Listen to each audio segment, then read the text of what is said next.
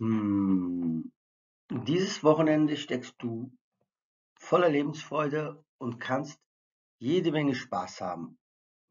Lebe, lebe deine Gefühle ruhig aus und tu Dinge, die dir Freude bereitet. Hm, aber so ein wenig solltest du aber darauf achten, dass du nicht, nicht übers Ziel hinausschießt, ja, weil dann kann, also ja, hm, denn dann kann halt deine Energie sich auch in Aggression verwandeln. Das war's dann auch. Bis zum nächsten Wochenende.